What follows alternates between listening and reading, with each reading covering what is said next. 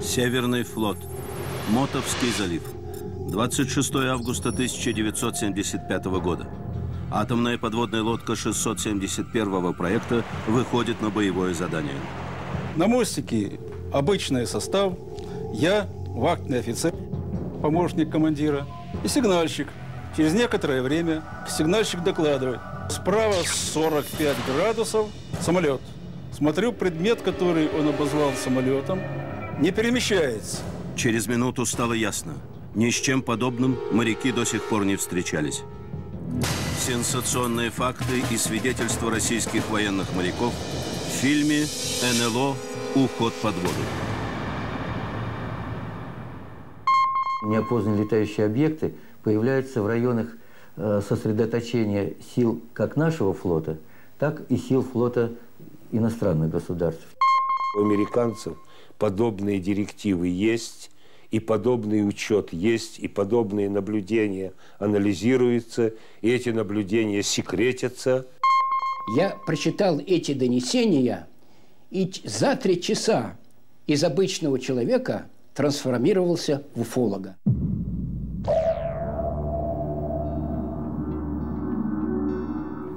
Все непонятное вызывает в нас жгучий интерес и одновременно тревогу. Ведь неизвестность может таить в себе угрозу.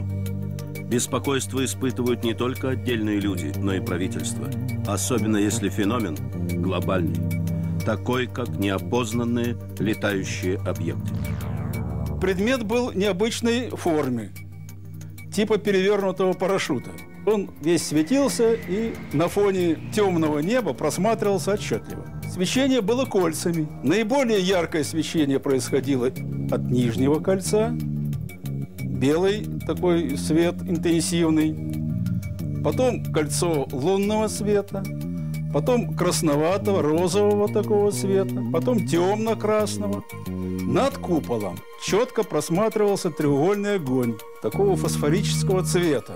Вдруг этот НЛО начал перемещаться в нашем направлении. Через некоторое время из нижней части у него вытянулся луч, ну, такой как прожектор, в сторону вот того корабля, который шел впереди. Это была не первая, не последняя встреча наших подводников с таинственными объектами. Так, в 1964 году при ночном всплытии в Атлантике советская атомная подлодка обнаружила в небе рядом с собой большой длиной около 250 метров сигарообразный объект. Он перемещался абсолютно бесшумно. Что это? Патрульный дирижабль береговой охраны США? Командир приказал готовиться к срочному погружению. И тут из днища объекта ударили три ярких луча. Стало понятно, что это никакой не дирижабль. Отсутствовали гондола, какие бы то ни было рули. Далее произошло и вовсе неожиданное.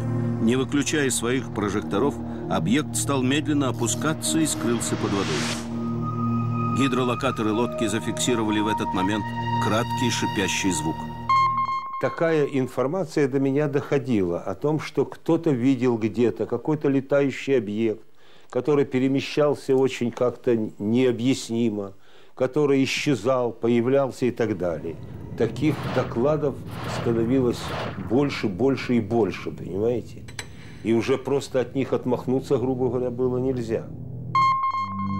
Через 10 секунд примерно второй луч в сторону корабля, который шел с правого борта. Эти лучи, в общем-то, так они оставались некоторое время и потом погасли. Но этот предмет, он начал приближаться к подводной лодке.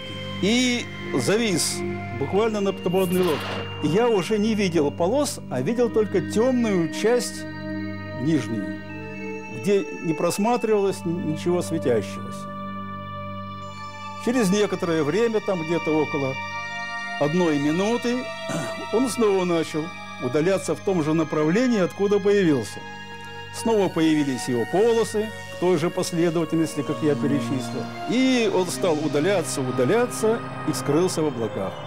Размеры его э, в диаметре где-то от 8 до 15 метров, вот в этих пределах. Но это точно, поскольку он был довольно близко от подводной лодки, и я его края, так сказать, фиксировал. Встречи с таинственными объектами беспокоят военных моряков. Оно и понятно. Ведь под угрозой не только выполнение боевой задачи, но и безопасность людей. Электромагнитные поля в районе неопознанного летающего объекта резко увеличиваются. То есть сам уровень электромагнитного поля повышается в несколько десятков раз, что качественно влияло на состояние радиоэлектронной аппаратуры на судах. Зачастую при приближении НЛО аппаратура на боевых кораблях попросту переставала работать. Эта аппаратура запиралась фактически, ну это наш термин такой чисто инженерный, запиралась, то есть она переставала реагировать по своему назначению. С одним нашим кораблем в районе южнее Бермудского э, архипелага на 11 минут выключилась вся электронная аппаратура. Даже не только электронная, а связанная вообще с магнитными компасами. Магнитные компасы, часы. Вся аппаратура приостановила свою работу. Донесения о подобных случаях то и дело ложились на стол начальника разведки военно-морского флота СССР вице-адмирала Юрия Иванова. С этой информацией надо было что-то делать. И в 1976 году он приглашает к себе ученого, бывшего военного подводника, научного руководителя экспедиции на исследовательской подводной лодке «Северянка» Владимира Ажажу. Иванов вывалил мне несколько томов донесений о наблюдении неопознанных летающих объектов на флотах и флотилиях. Я прочитал эти донесения и за три часа из обычного человека трансформировался в уфолога. Я понял, что это серьезно, и это требует глубоких, фундаментальных научных исследований. Совершенно фантастически э, наблюдались явления, которые, собственно, к сожалению, не, не всегда были возможно ни сфотографировать, ни зарегистрировать аппаратурой.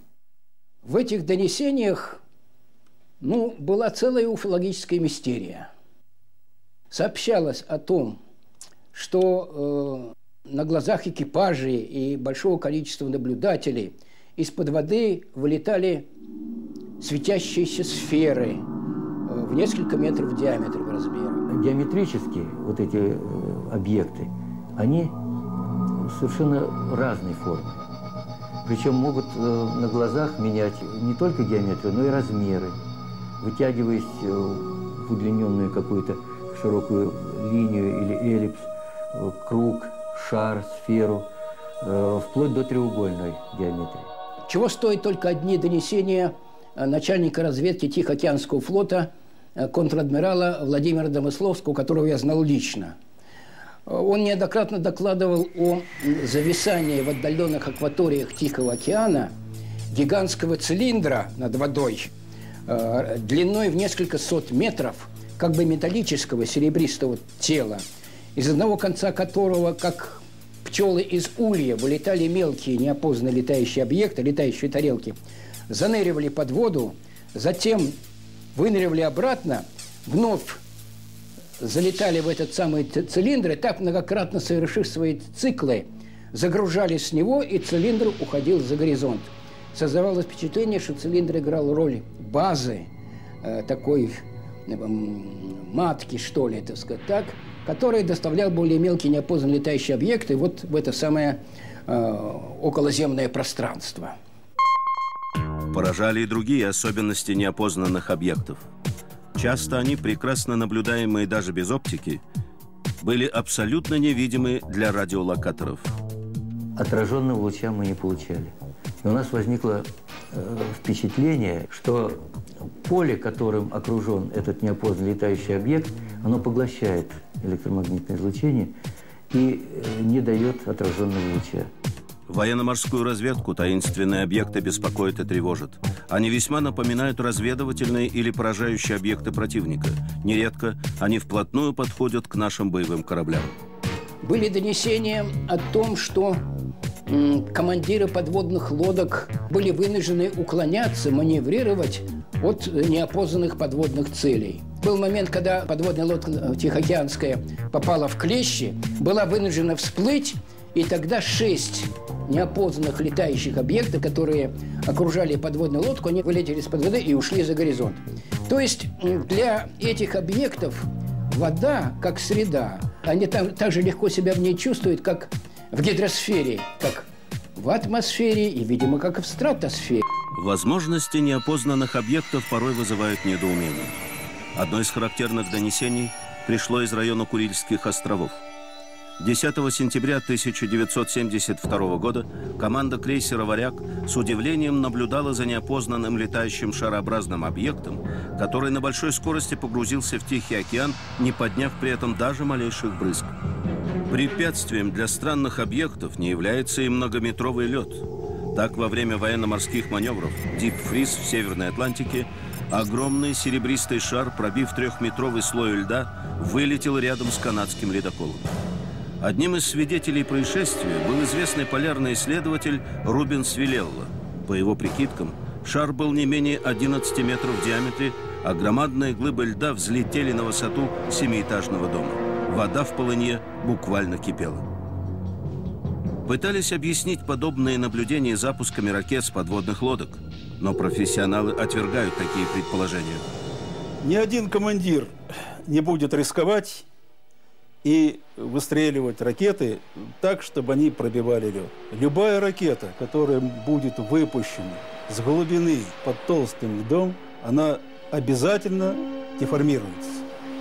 Поэтому командир всплывает, находит полынью, где имеется тонкий лед, взламывает корпусом и рубкой этот лед и производит запуск ракет в намеченные точки для того, чтобы достичь поставленной цели и американцы, значит, и в том числе и мы, значит, осуществляли пуски из района Северного Ледовитого океана. Но ни один пуск не производился из-под льда. Все пуски производились значит, с надводного старта, значит, из полыньи. Даже в битом льду и вообще применение какого-либо ракетного оружия значит, невозможно. А кроме того, вылеты неизвестных объектов из-под льда иногда наблюдаются во внутренних водоемах, где никаких подводных лодок в принципе быть не может. Например, на озере Байкал, во внутренних озерах Швеции, на севере России. В районе э, озера на э, Кольском полуострове было обнаружена полынья, диаметр 5-7 метров, которая имела оплавленные края, и причем совершенно круглую форму. Трудно сказать, то ли объект садился на лед, то ли объект выходил из-под льда. Но, во всяком случае, толщина льда там составляла около метра. Свидетелей э, самой посадки или же выхода из-под воды не было. Э, был только факт, который связан явно и повышенным электромагнитным полем в районе этой полыньи, и вот такими очень э, четкими э, геометрическими параметрами. Надо было разобраться вот в этой ситуации для военных практически, для науки, которой НЛО бросали вызов вот э, своим поведением, своим нарушением известных нам научных законов, бросали вызов, требовалось фундаментальные исследования. И эти исследования были начаты.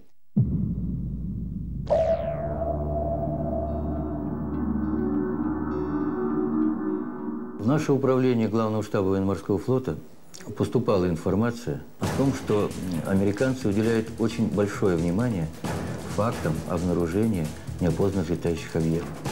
Еще в сентябре 1951 года Пентагоном была выпущена инструкция, которая регламентировала поведение военных в случае обнаружения неопознанных летающих объектов. Она предписывала немедленно доносить по военным каналам связи о появлении неизвестных подводных лодок, военных кораблей, НЛО и самолетов. В марте 1954 года директива была переиздана. Теперь подводные НЛО в ней были выделены особо. Данные обо всех неизвестных объектах, включая подводные НЛО, должны передаваться как сообщения первостепенной важности – в разведуправление военно-морского флота СССР тоже поступали сведения о таинственных объектах. Но это были разрозненные и случайные сообщения, которые не позволяли составить цельную картину. было решено организовать систематический сбор информации о проявлениях НЛО над акваториями и в морских глубинах. В 1976 году по заказу главного штаба военно-морского флота этим занялась океанографическая комиссия Академии наук СССР. Через год мы первый этап этой темы могли э, передать разведывательному управлению военно-морского флота, сопроводив э, вот анализ ситуации разработкой практической инструкции по наблюдению НЛО с кораблей и судов. Инструкция появилась, но внедрять ее в военно-морском флоте не торопились. Оказалось, что для этого нужно было иметь определенное мужество. Потому что сам сюжет, что флот внедряет инструкцию по наблюдению за летающими тарелками, он как-то не вязался с общей политической концепцией, с политическим взглядом вот на эту проблему. Несмотря на огромное количество сообщений и документальных свидетельств о разумном поведении многих неопознанных летающих объектов, наука продолжала упорно отрицать реальность этого феномена. Она не могла объяснить его. Не позволял идеологический базис. Любые попытки разобраться с этими явлениями пресекались в корне. Ученые, рискнувшие обнародовать свой интерес к НЛО, подвергались гонениям и угрозам, обвинялись в дилетантизме и профанации науки. Не лучше дело обстояло и в военно-морском флоте. И все-таки, несмотря на гнетущую обстановку, инструкцию по сбору информации по неопознанным летающим и подводным объектам удалось внедрить. Правда, сначала лишь на Северном флоте. И только благодаря решительности и даже дерзости нового командующего флотом адмирала Чернавина. Я не буду останавливаться на коллизиях, которые возникли у Владимира Николаевича Чернавина, командующего Северным флотом, Э, между э, им и политическими органами, которые усматривали в уфологии тогда э, увлечение какими-то мистическими науками, так сказать, так, даже, так сказать, пришивали, что это все буржуазная идеология и так далее, и так далее. Их интересовали другие совершенно нежизненные аспекты. Приехал на флот Э, главком ВМФ, адмирал флота Советского Союза Горшков с плановой там какой-то своей задачей. И с ним приехал представитель главного штаба, и в том числе приехал Гришанов, адмирал. И за обедом, как всегда, пошли всякие разговоры, в том числе вот о всяких вот этих НЛО, вот этих всяких неопознанных явлениях. И, значит, Гришанов со свойственной ему значит, большевистской прямотой и принципиальностью говорит, что, значит, э, все это ерунда, выдумывают там все и так далее. А я возьми, да, не к месту и скажи, что, ну почему же, если следовать нашей философии марксистско-ленинской, что мир безбрежен, бесконечен, без начала и без конца, то нельзя, наверное, исключить, что где-то находится такая же, допустим, планета, как наша Земля – ну, с другим, может быть, уровнем развития, с меньшим или большим. А Гришанов мне говорит, а вы действительно в это верите? Я говорю, я действительно в это верю, потому что я верю нашей марксистско-ленинской философии. А он говорит, этому самому Горшкову говорит, Сергей Георгиевич, ну тогда нам вообще здесь делать нечего на Северном флоте, если командующий вот такие исповедует мировоззрение, понимаете? И все-таки инструкция по наблюдению за неопознанными летающими объектами была разослана по боевым кораблям и войсковым частям Северного флота. Она была, значит, разработана и для дежурно-вахтенной службы, то есть при стоянке, допустим, кораблей в базе, значит, на тот случай, что дежурный по кораблю должен все это дело был фиксировать там э, те или иные явления. Ну и в море то же самое. Мне кажется, что мы поступили правильно в каком отношении? Мы издали директиву, по-моему, в октябре 1977 года, издали директиву по флоту, где предписывалось, чтобы о каждом таком явлении было бы соответствующее донесение в штаб военно-морского флота. И мне кажется, это очень правильно значит, поступили и мы в этом отношении. и те же наши, так сказать, в то время вероятные противники, потому что у американцев подобные директивы есть, и подобный учет есть, и подобные наблюдения анализируются, и эти наблюдения секретятся, и информация эта не распространяется. Рубикон был перейден, и, э, и какое-то исследование неопознанных летающих объектов в нашей стране началось. Но одно дело Северный флот, и совсем другое весь военно-морской флот СССР. Может быть, инструкция во всех флотах так и не была бы внедрена, да помог случай. Вдруг 7 октября 1977 года у меня в квартире дома раздался телефонный звонок, и меня пригласили к э, адмиралу флота Николаю Ивановичу Смирнову. Он говорит, давайте перейдем к делу. И по громкоговорящей связи селекторной связался с оперативным дежурным Северного флота.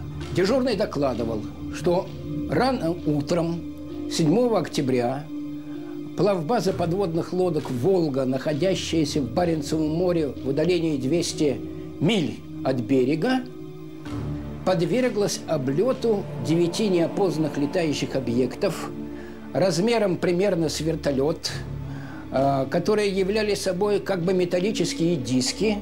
Они над этой «Волгой» учинили хоровод и 18 минут маневрировали. Командир плавбазы «Волга» капитан третьего ранга Таранкин безуспешно пытался связаться по радио с главной базой Северного флота Североморском, но не было прохождения радиосвязи ни на прием, ни на передачу. Тогда по внутренней корабельной громкоговорящей связи Таранкин дал совершенно необычную команду всему личному составу. Всем запоминайте, зарисовывайте, фотографируйте, чтобы когда вернемся в базу, никто не сказал, что ваш командир спятил с ума. Вот такая была нестандартная команда. Как только НЛО улетели, возобновилась радиосвязь, пошла радиограмма в Североморск, через час прилетел самолет-разведчик – но инцидент был уже исчерпан, разведывать было нечего. И вот тогда при мне Смирнов дал команду заместителю начальника главного штаба, вице-адмиралу Петру Навойцеву, команду внедрить эту инструкцию по флотам и флотилиям. И сказал, зайдете ко мне и текст заберете у меня. Введение инструкции сопровождалось многочисленными оговорками и реверансами. Уж слишком необычными были объекты, за которыми нужно было организовать наблюдение. Тогда боялись, как ладана, название не только летающие тарелки, вот такого термина, даже неопознанные летающие объекты. И все это э, графировалось туманным названием «аномальные явления».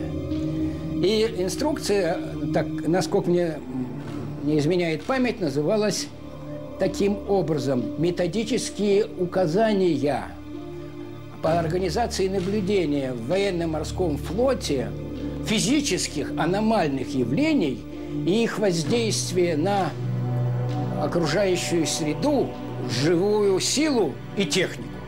В методических указаниях были обобщены многочисленные сведения о наблюдениях неопознанных летающих объектов. Приводились характерные формы объектов и характеристики их движения, в том числе и способность перехода из воздушной среды в водную и обратно. Там были прямо прописаны время, район, с какого по какое, какие, какие события, чем они характеризовались. Все, что можно было написать. И такие, значит, э, стали поступать такие данные – Военные разведчики получали информацию не только из своих частей, но и от гражданских судов. Информация, которая ко мне поступила от одного рыболовного траулера, вернее, он даже не траулер, он транспортный рефрижератор, это большое судно, 20 тысяч тонн водоизмещения, остров Беринга. Э, они на подходе к Кубе, опять же в районе Багамских островов, видели над собой вот этот неопознанный летающий объект, который всячески вот маневрировал над судном, уходил по курсу вперед, возвращался, э, снижался, поднимался. Короче, народ высыпал, вся команда высыпала на, на палубы, начали, им было это очень интересно, впервые увидеть живыми глазами меня под летающий объект яркого цвета, Потом он на фоне туч сливался, менял окраску, менял геометрию свою, превращался в треугольный тело. Э, умный, разумный капитан, очень интеллигентный человек, творческий, Георгий Семенович Баранов, тем сказал, давайте как быстро, у кого, у кого фотоаппараты, у кого там бинокли.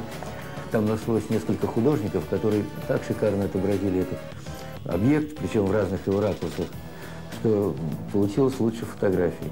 И эти вот зарисовки с их описаниями, с конкретными, были посланы в Москву и явились очень большим ценным материалом для дальнейших разработок. Для анализа поступающей информации в главном штабе военно-морского флота создана специальная аналитическая группа, которую возглавил заместитель главнокомандующего военно-морского флота адмирал флота Смирнов. Под его эгидой была создана группа, куда были приглашены офицеры нашего управления, офицеры научно-технического комитета, ученые научно-сельских институтов, которые занимались анализом всей этой информации. Для того, чтобы эту информацию всю переварить, отсеять, э, отфильтровать. В главном штабе военно-морского флота была создана специальная группа, которая, работа которой носила конфиденциальный характер. И информация еженедельно докладывалась заместителю главнокомандующего военно-морским флотом. Обобщенные сведения докладывались в Главное разведывательное управление. Одновременно по заказу Главного штаба военно-морского флота в океанографической комиссии Академии наук СССР продолжается работа над темой «Гидросферный аспект проблемы НЛО». Одна из целей этой работы – выявление мест возможного подводного базирования неопознанных летающих объектов.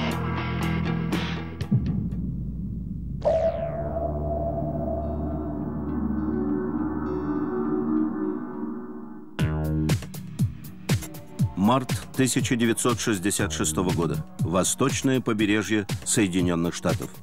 Военные ученые проводят испытания аппаратуры дальней подводной связи. Далеко в Атлантическом океане находится научное судно, которое принимает излученные с побережья сигналы. И вдруг начинается что-то непонятное. К своим сигналам начали примешиваться чужие, похожие, но видоизмененные. Анализ показал, это не эхо, не повторение первичного сигнала, а закодированная передача на непонятном и неизвестном языке. Засекли источник загадочных сигналов. Он оказался на глубине 8 километров в одном из самых глубоких мест Атлантики. Складывалось впечатление, признавались участники эксперимента, что кто-то там в глубине принимал наш сигнал, имитировал его с целью привлечь наше внимание – а потом на этой же волне начинал передавать свои сообщения. В 60-е годы расшифровать сигналы не удалось. Но через 30 лет попытку повторили на сверхмощных компьютерах Пентагона. О результатах не сообщалось. Зато вскоре американцы заметно активизировали работы по дальней подводной связи и исследованию дна в том самом районе Атлантики. Надо сказать, это не первый случай получения загадочных посланий. Еще в октябре 1928 года с такой же ситуацией столкнулись инженеры и физики голландской фирмы Philips. Во время испытаний спасательного радиомаяка их потрясло то, что сигналы иногда возвращались к ним с запозданием на несколько минут и даже суток. Это не поддавалось никаким объяснениям. Великий изобретатель Никола Тесла тогда предположил – Таким путем нас передразнивают представители инопланетных цивилизаций, чтобы мы, наконец, отказались от бредовой идеи вселенского одиночества. Так что же произошло в 1966 году? Какие разумные существа подавали сигналы из глубин океана? Может, это хозяева таинственных объектов, которые то и дело приближаются к глубоководным батискафам? Очевидцем двух таких событий стал знаменитый исследователь морских глубин Жак Пикар. Одно произошло 15 ноября 1959 года. Жак Пикар вместе с американским офицером Доном Уолшем погружался даже в самое глубокое место Мирового океана, в Марианскую впадину.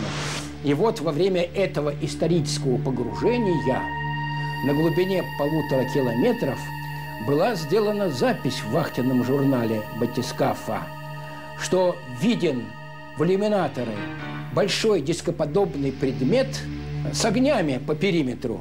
Такая запись есть. Так что, может быть, и здесь вот это рискованное предприятие человечества достижения максимальной глубины проходило под колпаком неопознанных летающих объектов. В более драматичной ситуации оказались советские океанологи.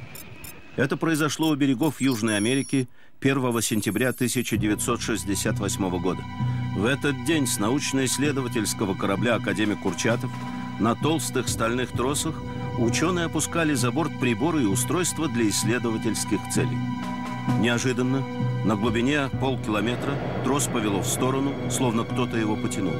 И вдруг он обвис. Прибор сорвался. Через минуту оборвались еще два троса, но уже у других приборов. Обрыв сразу трех стальных тросов. За 20 лет плавания такого не случалось ни разу. Когда оборванные тросы подняли на палубу, стало ясно. Кто-то как будто перепилил тросы огромным напильником. Кто это мог сделать? Кому понадобились уникальные научные приборы? Ответа океанологи не нашли. И это не единичный случай. Не менее странная история произошла в апреле 1995 года с американской беспилотной платформой. Лишь через два года США рискнули обнародовать сенсационные подробности ее погружения в уже знакомую нам Марианскую впадину. Снабженная мощными прожекторами, сверхчувствительными телекамерами и микрофонами, платформа погружалась в океан на стальных тросах. Несколько часов прошли без происшествий, и вдруг произошло нечто непонятное. На экранах телевизионных мониторов в свете прожекторов стали мелькать силуэты странных больших тел, а вскоре микрофоны начали транслировать скрежет железа и глухие удары. Платформу срочно подняли на поверхность. И что же? Мощные конструкции, обеспечивающие жесткость, оказались погнутыми, а стальной трос толщиной в 2 сантиметра наполовину диаметра был перепилен. Еще немного, и платформа навсегда осталась бы на дне океана. Что за объекты пытались овладеть научным оборудованием? Поведение их было не хаотичное, не какое-то там стихийное, а это были, были разумные э, экзерсисы, разумная деятельность, которая показывала, что мы сталкиваемся с каким-то неизвестным нам э, разумом. Вряд ли это были случайные встречи. Скорее всего, хозяева океана подходили к батискафам и спускаемой аппаратуре специально. Но зачем им понадобилось столь явно демонстрировать свое присутствие на такой огромной глубине? И нет ли прямой связи между ними и неопознанными летающими объектами? Э, по нашей э, статистике, из тысячи собранных э, случаев аномальных явлений в гидросфере 50% составляют случаи, которые можно отнести к наблюдениям и контактам как с НЛО над акваториями, так и с подводными объектами, которые просматриваются непосредственно под водой. 15% составляют такие же контакты над реками и озерами. Неопознанные летающие объекты явно тяготеют к водной стихии. И, похоже, для них не имеет большого значения океанские ли это бездны или внутренние водоемы. Ладога – это очень интересное место. Таким же очень интересным местом является Байкал. Причем я даже четко могу сказать, это вот срединная часть Байкала, его восточная часть, там, где полуостров известный имеется. На километровых глубинах Байкала ученые не раз наблюдали свечения, напоминавшие лучи прожекторов, вспышки, похожие на электросварку. Местные жители не раз видели вылет из-под воды и из-под льда непонятных объектов, а над водой яркие светящиеся диски и серебристые цилиндры. В 80-е годы НЛО-амфибии особенно часто наблюдались в северных морях СССР. Только в 80-81 годах жители Кольского полуострова видели вылет таких объектов из моря не менее 36 раз. Неопознанные летающие объекты появляются в районах э, сосредоточения сил как нашего флота, так и сил флота иностранных государств. В частности, э, в периоды проведения крупных учений Соединенных Штатов э, в районе восточного побережья, южной части восточного побережья США, Багамских островов, Бермудских островов э, в районе острова Пуэрто-Рико. Во всяком случае, э, частота их появления значительно выше, чем в некоторых других участках Атлантического и Тихого океана. Именно в этих районах, считают некоторые исследователи, могут располагаться подводные базы неопознанных объектов. Особенно часто НЛО видят в самом глубоководном районе Атлантики, на юге знаменитого Бермудского треугольника и в Карибском бассейне. И ведут себя хозяева НЛО вовсе не как гости. В районе Бермудского треугольника, э, в районе Средней Атлантики – Э, там даже были претензии капитанов кораблей бразильских, аргентинских, что они мешают нашей навигации. Они прямо ныряют под носом в воду, они под водой маневрируют вокруг корабля, нам это видно, нас это раздражает. Два года подряд в 1977 и 1978 годах по инициативе государств Карибского бассейна на сессиях Генеральной Ассамблеи ООН рассматривался вопрос об учреждении Международного агентства или департамента по изучению неопознанных летающих объектов. Выступавший на сессии премьер-министр Гренады Эрих Гейре жаловался «НЛО вылетают из-под воды рядом с нашими кораблями, обплывают их под водой, мешают нормальной навигации. У исследователей есть своя статистика наблюдений водных НЛО. Первое место занимает Атлантика. В Атлантике наблюдается 44% случаев наблюдений и контактов, 16% в Тихом океане и 10% в Средиземном море. Вот лишь одно из таких наблюдений. Оно было сделано в июле 1980 года южнее Корсики с борта учебного корабля «Смольный». Я в это время руководил э, практическим занятием курсантов на верхней палубе и имел возможность не только наблюдать зрительно этот объект, но и заглянуть в бинокуляр с увеличением в 20 раз, 20-кратный. Объект наблюдался в течение примерно 20 минут. И я хорошо его успел рассмотреть э, в стереотрубу. А, это, как я еще раз говорю, классическая тарелка с двумя ножками. Верхняя часть абсолютно гладкая, скажем, как парашют, а нижняя она больше похожа на угол. Естественно, э, с большого расстояния трудно говорить о конкретных размерах, но э, цвет цвета огня. Желто-красные такие тона, э, без переливов, ровный свет. Это видело большое количество народу. Это э, кроме вахтенного офицера, сигнальщика, который обнаружил приглашенный на э, верх командир, я его видел, значит, и ну, порядка 50 курсантов. В Средиземном море Одно из подозрительных мест находится в 20 милях к востоку от Гибралтара. Другое недалеко от острова Мальорка. Странные звуки периодически доносятся с морского дна. Они напоминают гул мощных машин и удары строительной техники. Их слышат матросы, рыбаки, ныряльщики. По непонятным причинам рельеф морского дна в этом месте за последние десятилетия изменился до неузнаваемости – Начиная с 70-х годов, испанские военные летчики и моряки то и дело наблюдают в этом месте вылет из-под воды и уход под воду неопознанных летающих объектов. Подозревают, что на дне моря находится их база. По поводу подводных баз, а почему бы и нет? Ничего отбрасывать нельзя. Легче всего встать в позицию скептика – из бугра критиковать все и вся, ничего не делая. Если вдуматься, морское дно самое безопасное на Земле место для тех, кто не хочет лишний раз сталкиваться с людьми. По всей планете таких мест у нас э, насчиталось около сотни. Из них 26% составляют подводные места. То есть места, э, значит, расположения на шельфе, более глубоко э, в, подзем... Э, в подводных скалах и пещерах и так далее. Люди крайне редко погружаются на большие глубины, и тем более значимо то, с чем они встречаются при таких точечных инъекциях. В начале 90-х годов Во время обследования специальной аппаратуры дна Бермудского треугольника в самом его центре, на глубине 600 метров, были обнаружены две гигантские пирамиды, по размерам превышающие египетские.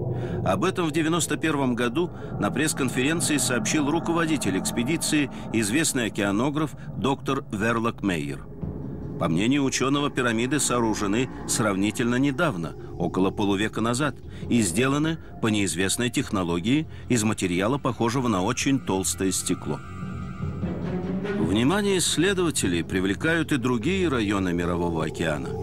Таким местам э, можно, э, безусловно, отнести э, район котловины Беленсгаузена, около огненной земли, около острова Святого Георгия, 1997 год. Котловину Беллинсгаузена обследуют австралийские военные моряки.